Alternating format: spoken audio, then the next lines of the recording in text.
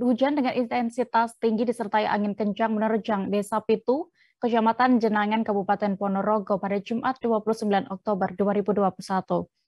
Akibatnya terjadi kerusakan di beberapa rumah warga dan kampus 2 IAIN Ponorogo. Dari pantauan tribunjatim.com Balihu, di depan kampus 2 IAIN Ponorogo, ambruk. Kabar selengkapnya akan disampaikan rekan Sofian Chandra Arif Sakti, jurnalis Tribun Jawa Jatim, yang kini sudah terhubung bersama kami. Halo Chandra. Halo, selamat siang Dea. Rekan Chandra, bagaimana kondisi terkini dari bangunan di IAIN Ponorogo pasca diterjang hujan disertai angin kencang kemarin? Ya, Dea, untuk uh, bangunan IAIN Ponorogo sendiri kabarnya uh, terjadi kerusakan di utamanya di kampus 2 yang terdapat di Desa Pintu, Kecamatan Jenangan, Kabupaten Ponorogo.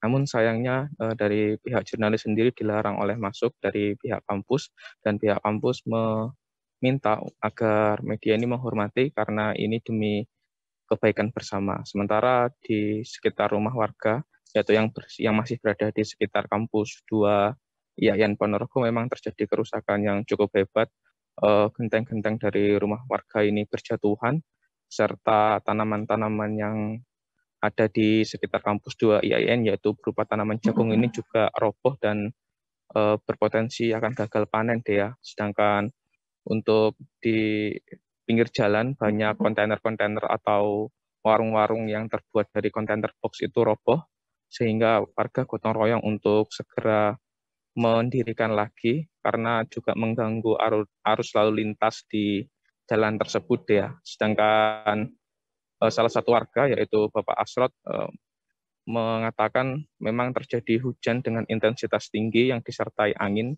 uh, untuk durasinya sekitar 15 menit saja dia namun dengan durasi seperti itu bisa mempertandakan di sekitar desa Pintu Kecamatan Jenangan. Namun dari pengakuan Bapak Asrot tidak ada korban jiwa maupun luka-luka akibat angin kencang tersebut dan warga memang sempat sedikit ketakutan termasuk Bapak Asrot sendiri yang semula berada di dalam ruangan sempat akan keluar namun di luar juga cukup menakutkan karena hujannya lebat dan disertai angin yang kencang sehingga dia memilih untuk berteduh di serambi saja karena kalau di dalam rumah juga takut akan kejatuhan genteng seperti itu deh. Oke, lalu adakah korban jiwa ataupun luka-luka akibat insiden kemarin itu?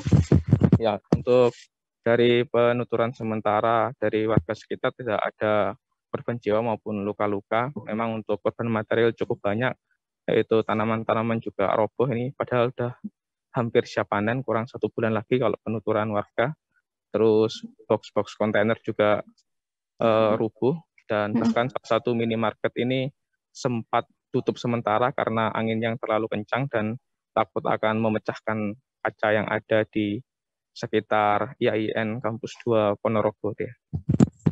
Oke, lalu terkait adanya uh, insiden eh, bencana ini ya, maksud kami uh, hujan yang sangat deras ini juga. Bagaimana dengan kesiapsiagaan bencana hidrometeorologi di Kabupaten Ponorogo dan sekitarnya sendiri?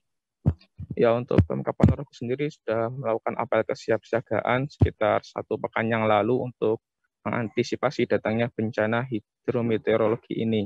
Eh, Bapak Bupati Ponorogo, Bapak Sugiri Sancoko juga sudah melakukan eh, apel dan mengecek kesiapsiagaan sumber daya manusia maupun alat yang eh, Bapak Sugiri mengatakan bahwa baik alat maupun sumber daya manusia di Kabupaten Ponorogo dibantu dengan TNI, Polri, serta BPBD ini siap untuk melakukan antisipasi bencana. Bapak Sugiri juga optimis potensi bencana Kabupaten Ponorogo pada tahun ini bisa dikurangi karena sudah ada bendungan-bendo yang beberapa bulan lalu baru saja diresmikan oleh Bapak Presiden RI Bapak Joko Widodo.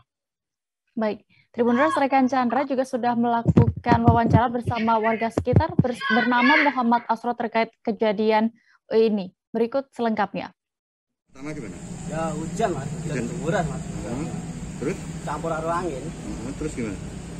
Terus ya kejadiannya yang itu tadi sama ada yang roboh itu tadi. Ini merusak apa aja ini mas?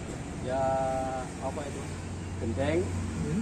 sama pohon yang ada yang tumbang, terus papan reklame YIN itu ya roboh Banyak mas ya yang roboh yang rusak. ya cukup banyak mas Kalau kor- korban ada nggak?